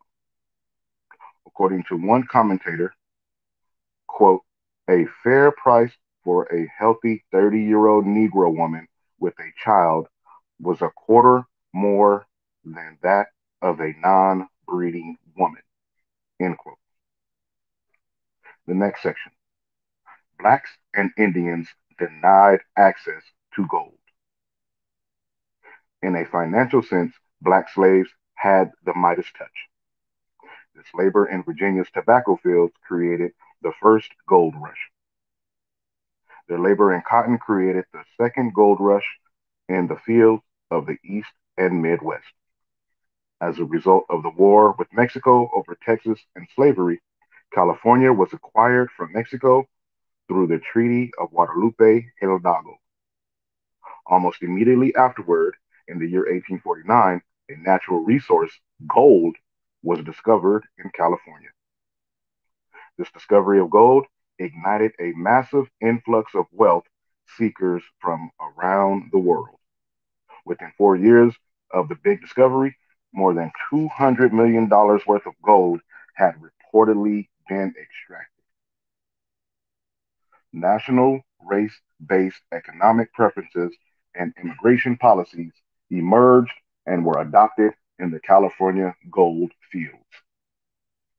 The two groups who had contributed the most towards the building of the new nation, Indians with their land and blacks with their labor, were systematically excluded from participating in the gold rush. In an effort to keep California gold rush a quote unquote white only treasure hunt, public pronouncements made it clear to free blacks and Indians that if they wanted to pan gold, they could only do it as a slave to a white person. The hundreds of free blacks who traveled to California in search of gold, not re-enslavement, were blocked by local laws and white vigilante violence.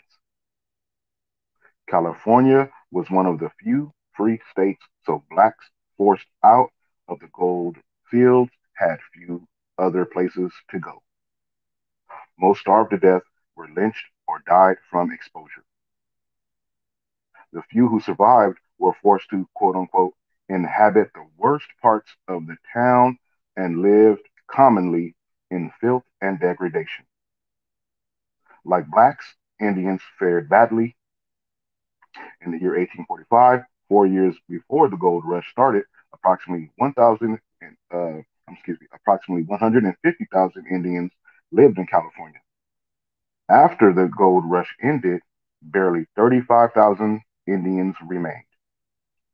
The intentional exclusion of blacks and Indians from acquiring wealth or a part of the quote unquote American dream had been established into national policy in the year 1836 by Secretary of War Lewis Cass, who rationalized, quote, we are living, we are all striving in the career of life to acquire riches of honor, power, or some other object whose possession is to realize the daydreams of our imaginations, and the aggregate of these efforts constitute the advance of society, but there is little of this in the constitution of our savages. End quote. But not all non white groups experience such systematic and exclusionary treatment. As word of the gold rush spread, large waves of Southern European Chinese and Mexican immigrants sought their fortunes in California. Whites considered Chinese more acceptable than Indians or blacks. Accordingly, state and federal government officials praised them as hardworking and thrifty. The Chinese were accepted into the ranks of the gold seekers. Some staked claims and even found a little gold.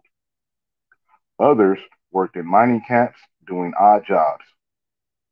But most Chinese failed to find gold and had little choice but to open ethnic businesses or offer their labor at low wages. Similarly, Mexicans had greater access to the gold fields that either blacks or uh, than, than either blacks or Indians. The greater acceptance of Mexicans could have resulted from the Spanish culture that was prominent in California, or from the fact that Mexicans had not been categorically and historically abused by white society. Although Mexicans ranked lower than Chinese and preferred skin color. In the early 1850s, the total number of Mexicans was less than 3,000 in the entire nation. Therefore, they did not present either a challenge or a threat to whites as did the more than 5 million blacks. Though Chinese and Mexicans were non white, they supported European whites' practice of excluding blacks and Indians from pers- uh, prospecting for gold. A minister for this period reported, reportedly observed that, quote, the immigrants became the bitterest of Negro haters within 15 days of their naturalization as American citizens. End quote. Apparently, learning to despise blacks was an important aspect in the acculturation of immigrants. Blacks carried a heavy burden. They were the they were the target of everyone's hostilities, but were totally unable to defend themselves or compete. Neither Chinese nor Mexicans endured the kind of discriminations that blacks did. Only blacks were the systematic victims of cultural customs and laws that denied them legal freedom, the fruits of their labor, the right of property ownership, the right to protect their person, family, and race, and a promising future. Many social scientists and politicians justified the near total exclusion of free blacks from any land ownership and wealth building activity on the basis that the United States Constitution declared them non citizens, and subhuman. But such reasoning does not hold, especially since there was a constant influx of non English European, Hispanic, and Asian immigrants who were neither citizens nor white Anglo Saxon Protestants. If free blacks were ineligible to own land, why did the government encourage them to participate in every military conflict with a promise of land and other veterans' benefits at war's end. The next section Black vets denied access to preferential wealth. Many years later, the American government played another role in preferential wealth distributed to whites. The government passed wealth to its white veterans, both the living and the dead. Through the years, America has expressed its gratitude to its war veterans in a variety of ways, primarily through land grants, land bounties, and homesteading opportunities. In the year 1642, the same year that Massachusetts introduced slavery into the colonies, Virginia enacted a law forcing blacks to join a militia and protect the larger white society.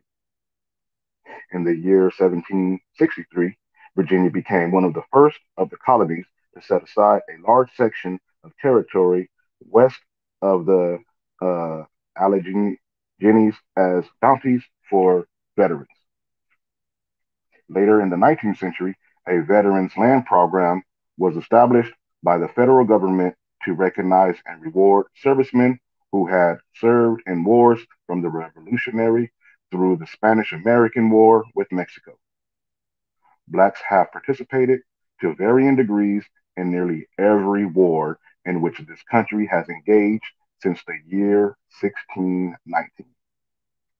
Yet blacks have received little monetary compensation for any form of their military service to this nation. The Veterans Land Program offered veterans either a homestead site or six feet for a burial site. Since blacks were the only non English racial or ethnic group that had fought in every major military involvement since the initial settlement in 1619, they were optimistic that perhaps they would be included in the Veterans Land Program. However, Black veterans did not qualify for the homesteading site. Until the 1960s, Black veterans fortunate enough to be eligible for a free six foot burial site were discriminated against even in death. Preferential treatment at most cemeteries and grave sites enforced a quote unquote whites only rule. Affirmative action for special interest groups after the Civil War, when nearly all of the land and wealth building resources had been claimed by members of the majority white society. Conservative spe- uh, social forces began campaigns against any governmental program or policies that pre- portended assistance or redistribution of wealth to blacks. Convinced that the majority white society was well in possession or control of wealth, power, and resources, conservatives promoted an ideology that the right people were already aboard the wealth boat. So keep the gangplank up. In 1860, 5% of the population controlled approximately 25% of the country's wealth. 130 years later, after, the, after a civil war, two war wars, a major economic depression, and the civil rights movement, the major possessors of wealth remain unchanged. 5% of the American population still controls 25% of the country's total wealth. Most of this wealth was passed on from generation to generation. The younger generation of whites resent being held morally or financially responsible for the racial sins of their ancestors. Though, as whites, they still enjoy the inherited advantages and privileges of slavery. Ironically, most wealth, wealthy conservatives today pretend that they earned their wealth rather than admit they got it the old fashioned way through preferential government treatment, exploitation of black way, uh, labor, expropriations of Indian land, or simply as an inheritance from those who acquired it through one or another combination of those three ways. Conservative elements oppose re- reparations or any government that benefits blacks but few acknowledge the existence of or oppose systematic government programs that distribute wealth to various special interest groups within the majority white society. Despite current political rhetoric, blacks are not the primary recipients of federal grants. Federal grants, aka giveaways, are subsidies. Historically, the largest recipients of federal government largest have been railroad, ranchers, farmers, and miners. Theoretically, public lands and resources within the United States are owned by or held in trust for all citizens. Accordingly, the federal government should manage properties in a way that benefits all Americans. However, the government has not managed public properties in and in an even handed manner in the best interests of all people. The federal government has systematically permitted a select wealthy population to use, exploit, and profit from those lands, from those, sorry about that, profit from these programs frequently never require the recipients to pay anything. And when payment is required, the payment never approach the fair market values for the public resource. As such, these programs amount to massive taxpayers funding subsidies to the recipients. Due to the racial policies and feelings within its within the nation at the time these grants were made, the benefits were doled out along racial lines. These programs, some of you to this day, can therefore be race government preferences for whites even now. But somehow Americans have never allowed themselves to think this way. The term preferential treatment only applies when federal programs are targeted that to provide assistance to disfavored groups. Meanwhile, preferential government assistance that benefits the majority group are, simp- are simply seen as either maintaining the status quo or as temporary assistance to a vital segment of the population in the interest of national security. Majority preferences, uh, majority preference programs are pervasive and so accepted that it is almost a radical notion to, uh, to term it white affirmative action. Yet, if we apply the definition equally, this is clearly what these programs are. Following sections, this following section discusses some affirmative program for whites. Like I say, a lot of the wealth people in this country sustain wealth from being welfare recipients. The next section, the railroad king of special interest. And let me get up this one clip. Give me one second. All right. The railroad companies, the king of special interests. The major purpose of building the railroad system across the America across America was to move slave-produced goods to domestic markets and to seaports for shipping to foreign markets. Centuries of sales of slave-produced cotton, tobacco,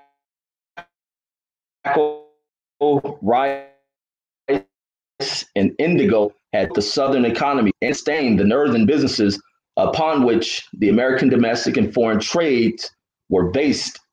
In the use of Black in America, historian Dan Lacy discuss how Black labor subsidized the development and westward expansion of the railroads. According to Lacy,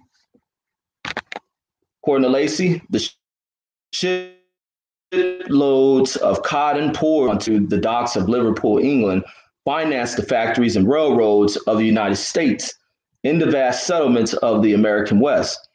In the economic life of, the, of 19th century America, with Black labor, cotton was king and caused nations to prosper and expand.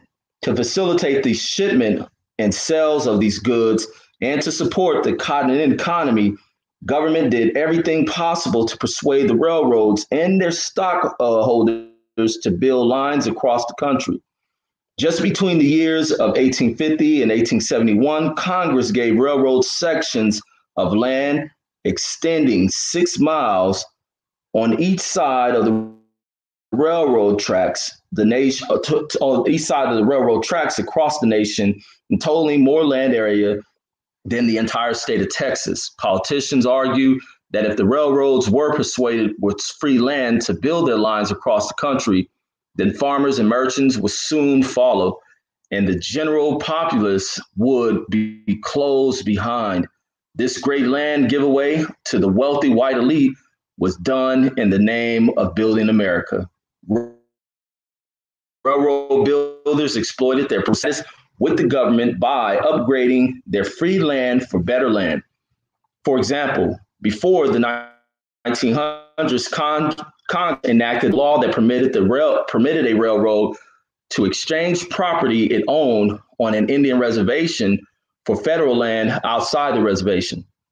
Under this provision, for instance, railroads exchange millions of acres of worthless or low value land for land located on the fertile valleys of Washington, Oregon, and Montana. These exchanges had nothing to do with building railroad the railroad lines. The railroad lines, such as Illinois Central, were allowed to purchase additional millions of acres from the government at a price of five cents an acre to build additional tracks. These same railroads later made massive fortunes by reselling the land that they received free from the government to land speculators Arthur Howard Zinn indicated the potential profit state uh, the profit stating in his quote, within 10 years, the Illinois Railroad line publicly announced that it had 1,100,000 acres, less than one and a half of its original grant for sales in 40, uh, 40 acre lots and upwards at prices ranging five to $25 per acre, whereas the national domain was offered at 1.5 per, uh, 1.5 per acre. And that's the end of the quote. Of approximately 2,600,000 acres that the Illinois Central Rail Line received from the government through land grants, all but 450,000 acres were sold in less than 20 years. Whites holding corporate stocks and bonds in these railroads also received significant capital gains through millions of acres of the best public lands was first given to their companies free of charge. They were then allowed to reap a second windfall capital gain by upgrading the land for better public uh, for better public land. Blacks, on the other hand, could not profit from the railroad land grants because they were slaves or poor freemen who could not or who could not hold or purchase any of the land, railroad stocks, bonds, or hold corporate positions. The common perception of blacks as slaves made it nearly impossible for a black to get a paying job with a railroad line. Many railroad lines actually purchased slaves as property and business equipment. Railroads used slaves to do the heavy loading, maintain tracks and railroad cars. Other times, slaves were purchased on speculation for capital gains. According to Stanley Lebergott, the North Carolina Railroad listed among its assets real estate, tools, and two Negroes worth $1,550 even when railroads held public auctions or sold their land holdings, few, if any, blacks could afford to purchase any of the parcels. As a result, there were no free black shareholders or heirs to the railroad fortunes. Beyond being able to own railroad stocks, they could not get railroad service in their communities. The railroads would not establish train stations in black sections of any town or city, nor hire uh, blacks for anything except the most low paying jobs. The next section ranchers and grazers. Ranchers have also been a long-time beneficiary of federal funds. Much of the land in the western states was arid and profitable only for grazing livestock, but the small size of many of the holdings made ranching difficult. Beginning in the 1850s, corporations and individuals sought to acquire large tracts of land in the Louisiana Territory and westward to use the public natural resources for grazing. The large open tracts of federal land represented extremely valuable property. Many ranchers boldly grazed their livestock on these federal lands without permission or payment, and the federal government allowed it. As a result, the public range quickly became severely overgrazed. To prevent further overgrazing, Congress passed the Taylor Grazing Act in the year 1934 but the, but the legislation only provided additional federal subsidies and benefits to the ranchers. For example, it provided preferential permits, low grazing fees, and federal funding for range improvements such as fencing and revegetation. As a result, taxpayers provided further subsidies to the ranchers. They now pay the bill for fencing off and replanting these federal lands so that ranchers could get continued or so, so that ranchers could continue to use them. The ranchers never paid fair market value for the use of these government lands and allowed their greed to place personal gains over per, uh, preserving the public's interest in these properties. The Bureau of Land Management, which supervises more than 500 million acres of federal lands, estimated in the 1970s that approximately 80% of the land in the far west that had been leased to ranchers had been overgrazed and damaged. The federally granted grazing rights gave the ranchers additional financial benefits beyond providing a financial windfall in free livestock feed. Ranchers holding federally issued grazing permits can use them to appreciate the value of their personal private farming and ranching properties. For example, if a rancher holds 20,000 acres under his name and leases another 150,000 acres from the Bureau of Land Management, he can sell his 20,000 acres at a price that includes the value of the use of the other 150,000 acres of public land. This additional value can be passed from one generation to the next as a form of wealth. In addition, ranchers can use grazing permits as security for loans from local financial institutions. Ironically, these lending practices enhance the political power of the ranchers since lending institutions had a financial incentive to oppose political proposals that would increase the cost of availability of federal grazing rights and thereby reduce the profitability of these ranchers. The political strength of the groups backing this federally sponsored handout was evident in recent short lived attempts to reform grazing rights.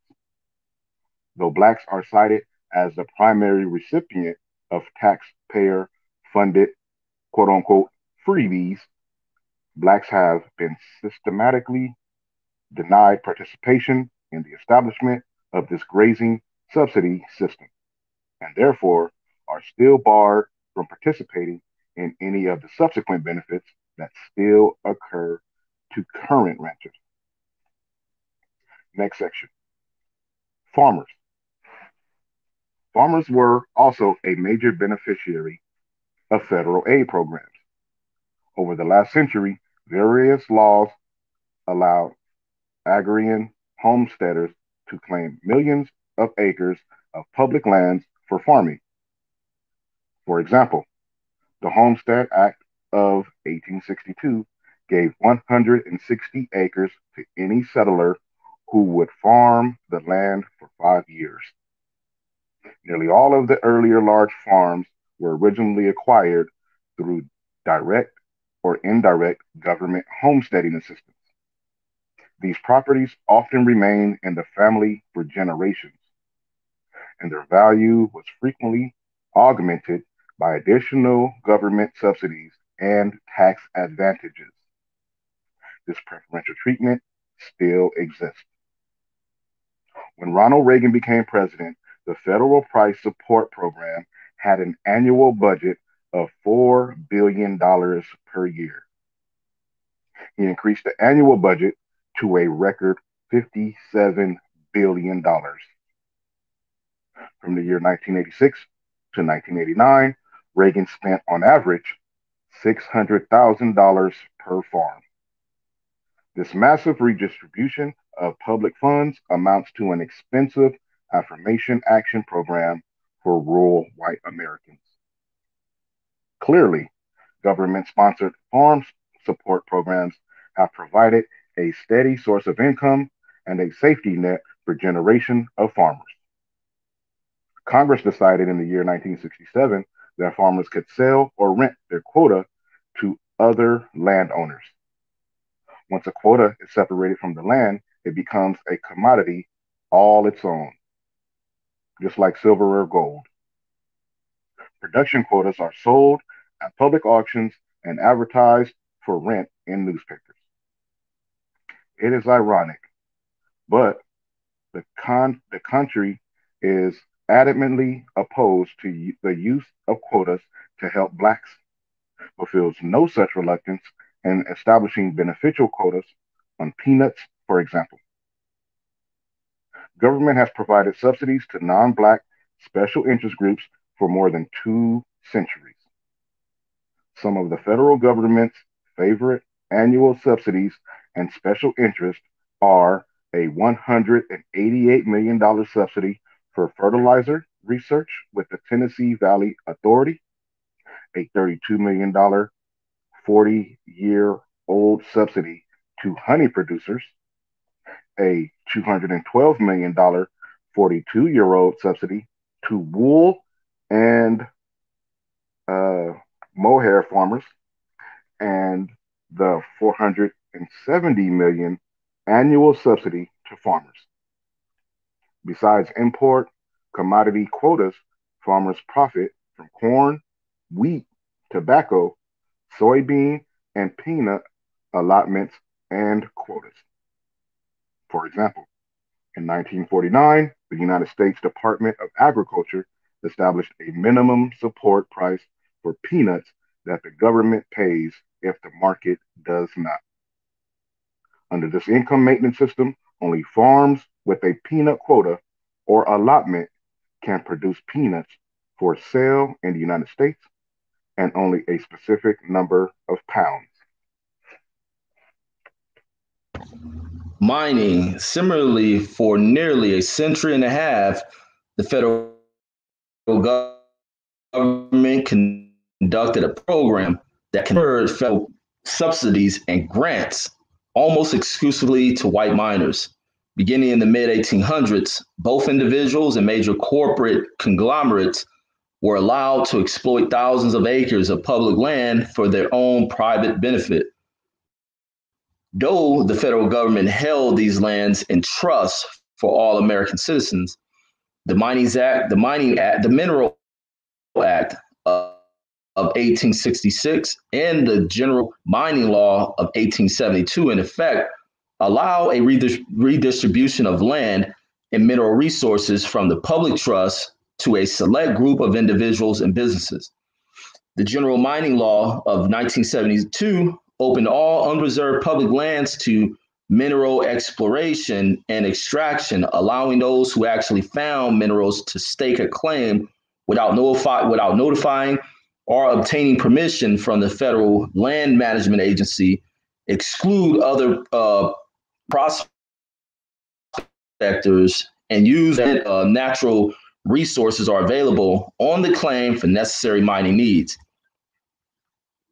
Commentators observe that after several years of eligible work and payment of a modest fee, a locator could be granted a federal patent that entitled him or her the outright ownership of the uh, former mining claim. Once a claim has been, plant, been patented, the, the owner can do whatever he or she wants with the claim, using it, selling it for mining purposes. At no time was the local uh, was the local uh, locator uh, patentee required to pay rent or a royalty to the United States. As a result, private mining companies gouge and scare and, and scared the public lands in search of in search of uh, coal, iron ore, aluminum, gold, and silver. Such policies are not a thing of the past. In fact, some are still active. The Washington Post reported that Interior Secretary Bruce Babbitt finally stripped the Bureau of Land Management of authority to confer low-cost mining rights of federal on federal lands in 1993. He found it offensive that politically connected miners could acquire federal lands for as little as 250, I mean $2.50 per acre upon demonstrating that the land contained valuable minerals.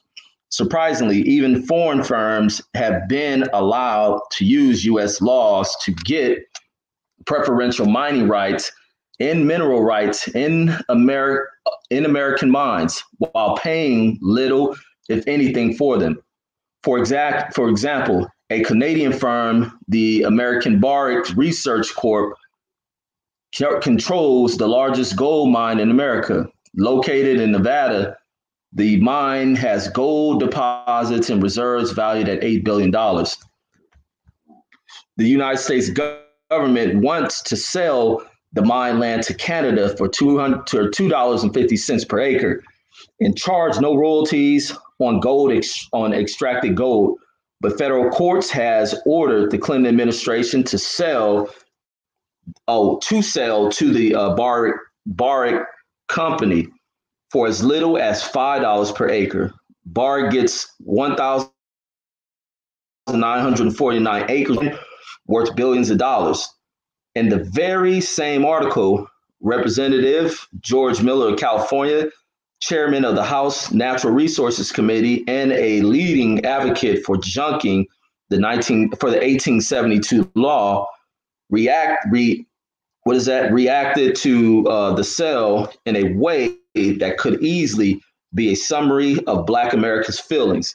He said the lesson is the law should have been changed a long time ago. It is absolutely unfair to the American people that you would continue to, process to uh, process that takes land that is owned by by them for their benefit and or simply give them away to, for private profit without the American people sharing in any of it. It is very sad and sorry state of affairs. Though foreign firms like Barrick have been allowed to own and exploit the, the nation's land and natural resources, blacks have been systematically denied the opportunity. As far back as 1856, the United States Attorney General Caleb Cushing ruled that free blacks did not have the right to apply for or enjoy the benefits under the Land Preemption Act of 1841. Until emancipation, black slave labor was the primary tool in mining operations. Mining companies often owned and maintained their own slaves, but more frequently, they simply leased slaves from local owners for as little as $120 or $200 per year. Black slaves were the first and most preferred mine workers.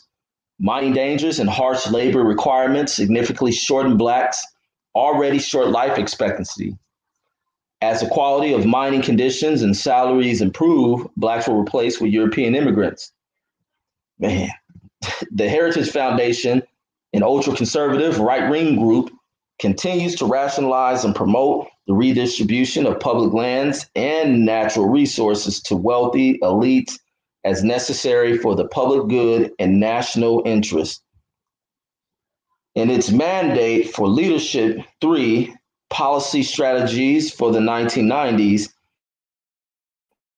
which serve as a Bible for the Reagan and Bush administrations, the foundation suggested that the Republican administration should instruct the Department of Interior's Bureau of Land Management and Mineral Management Services to provide private business with increased access to mineral deposits on public lands in oils and gas leases in the Arctic National Wildlife Reserve, slacken due diligence requirements, and permit the marketplace to decide the value of these land leases. The let me get the image up real quick. The Heritage Foundation did not attempt to hide its support for the centuries old partnership between businesses, between business and government, under which business provides campaign support for politicians. And in turn, politicians provide subsidies and tax loopholes for businesses. This partnership ensures that the white power elites will continue to receive wealth from the public's loss. Conservatives argue that giving public money, natural resources, and other financial benefits to certain wealthy individuals and businesses in private sector stimul in the private sector stimulates further investments within the economy.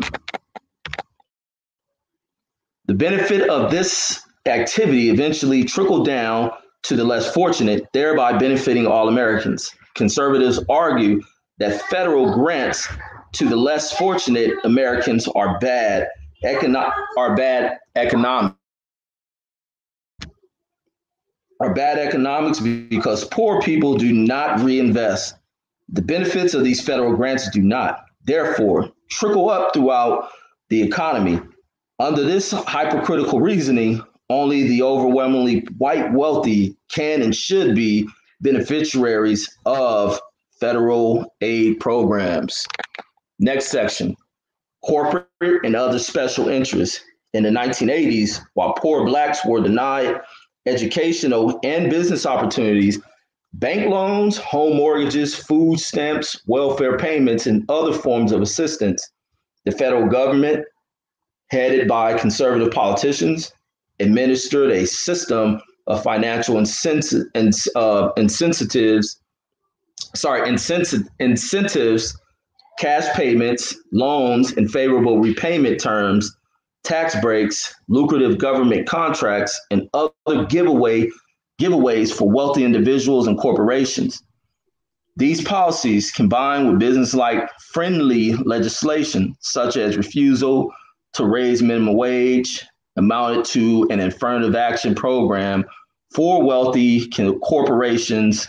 Common Cause compiled data on governmental preferential treatment policies for these wealthy producing industries. And that's why I don't fuck with Trump. but go ahead. Right. In conclusion, Blacks were involved in every aspect of the development of the American nation. We cleared the land and produced the crops. We raised the food and the children of white families. We fought in every war and developed the land expropriated from the American Indians, though we were permitted to be buried only in certain non white areas of this very land. Blacks produced the wealth what whites in both the old and new worlds possessed and claimed to have achieved by the sweat of their brows. The centuries of physical and psychological abuse that Black people suffered were tragic. But even worse, the dominant white society has systematically hidden the fact that the foundations of the American, European, Latin American, and Caribbean economies are rooted in the labor and production of Blacks. Black labor fueled the exponential growth in the economies of numerous nations around the world. For centuries, slave produce products were found in every home in every Christian and non Christian nation.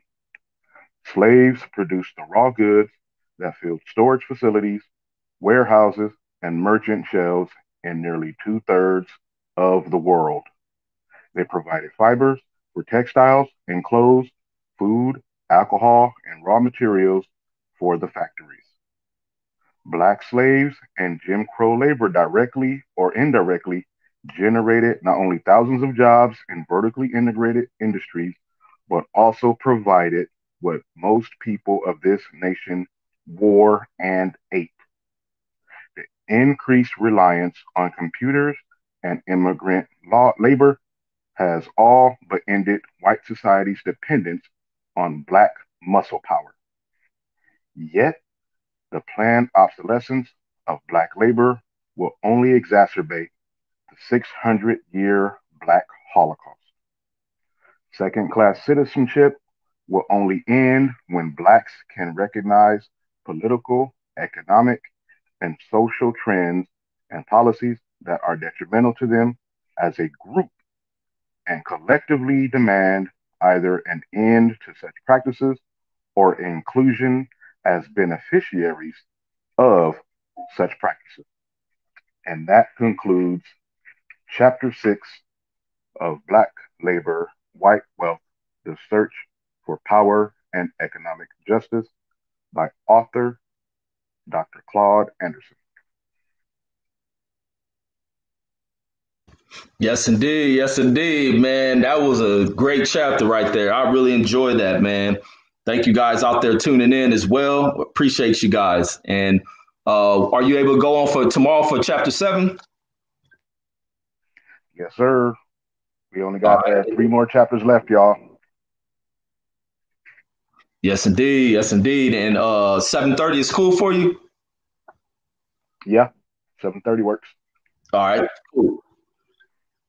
All right, perfect. So we'll be back in here tomorrow, man. Yes, indeed. Any final words? Yes, sir. Just much appreciation and uh, respect. Peace and blessings to everybody that's in the chat live, that's commenting. We can tell that y'all are listening to us, and that is the best uh, feeling in the world because it uh, lets us know that we ain't just up here reading, even though we w- we would be reading if there was nobody in the chat. It just, um, at least for me, it feels good to look and see that y'all are responding to what we are saying in the moment, reacting, conversating amongst each other, adding great input from yourselves with the knowledge that you have, as well as uh, also building up each other. And I love to see that positive energy. Um, peace and blessings to all you who are watching this or listening to this on the replay. Please hit that like button. Please subscribe to Boxing Conversations with Reggie Owens. Please subscribe to Tank Obadiah TV. Please subscribe to the Sweet Science Examiner for your boxing talk. And come back, come back, come back. We got three more chapters left in this book. And once again, peace and blessings and salute to Dr. Claude Anderson for putting this together. Yes, indeed. Yes, indeed. And that's all I got, folks. We'll catch you guys here tomorrow, 7:30 p.m. West Coast time, 9:30 Central, 10:30 Eastern Standard Time. We'll be right back in here to continue with the book. And we, like we said, chapter by chapter, we're getting you all the way through with this great information put together by our author, world famous, legendary, iconic, Dr. Claude Anderson, living legend, man. So uh, that's all we got, man. We'll catch you in here tomorrow. Yes, sir. See y'all tomorrow. Peace.